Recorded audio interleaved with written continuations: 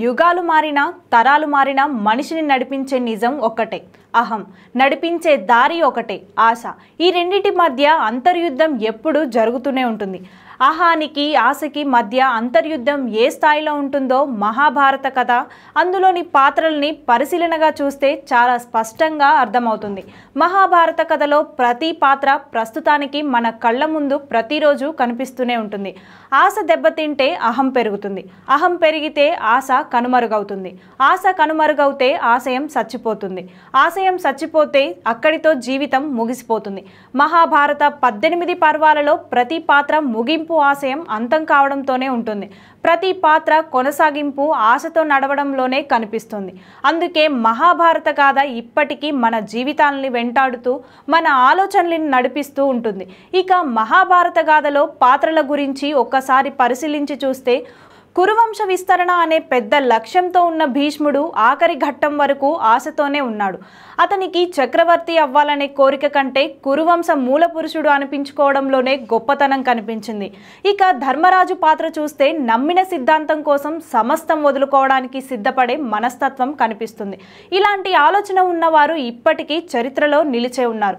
వారందరూ ధర్మరాజు వారసులే అనే చెప్పుకోవాలి. ఇక అర్జునుడు పాత్రతో పది మందిలో గొప్పవాడు అనిపించుకోవాలనే కోరిక పది మంది తనని మెచ్చుకోవాలనే ఆకాంక్ష ఉంటే దానికోసం ఎంతవరకైనా ఏమి చేయడానికైనా సిద్ధపడే ఆలోచన కనిపిస్తుంది. ఇలా భీముడు పాత్రతో కండబలం చూపించి ఆ క్షణానికి పది మందిని భయపెట్టినా సమాజం హర్షించదు. గెలవాలనుకునే వాడికి బలమైన కోరిక మాత్రమే కాదు అవకాశం కోసం ఎదురు చూసే ఓపిక కూడా ఉండాలి అనే గొప్ప తత్వం బోధిస్తోంది. ఇక దుర్యోధనుడి పాత్రతో తనకు కావాల్సింది దక్కించుకోవడానికి మంచి చెడు అనే సంబంధం లేకుండా ఎలా అయినా పొందాలనుకోవడం. అధికారం శాశ్వతం అనే భ్రమ ఎదుటివారిపై చులకన భావం నిర్లక్ష్యం ఎదుటివారి బలం గుర్తించకుండా మాట్లాడడం చేస్తే ఆశని చంపే అహం చివరికి అంతం కోరుకుంటుందనే విషయాన్ని స్పష్టంగా చెప్పడం జరిగింది. ఈ పాత్రలన్నీ ఒక్కసారి పరిశీలిస్తే ఇప్పటికీ మన కళ్ళ ముందు మన జీవితాల్లో ఏదో ఒక సందర్భంలో కనిపిస్తూనే ఉంటాయి. ఇంకా మహాభారతంలో కీలకమైన శకుని పాత్ర చూసుకుంటే ప్రమాదం.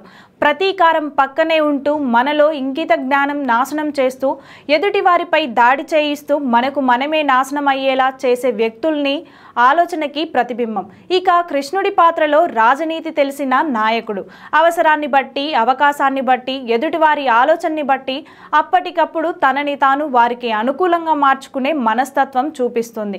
తన పని చేయించుకోవడం కోసం అవసరాన్ని బట్టి యంత్రం తంత్రం మంత్రం వాడడం తెలిసిన వాడు కనిపిస్తాడు. ఇలాంటి ఆలోచన ఉన్న వాళ్ళు కూడా మన మధ్య కనిపిస్తూ ఉంటారు.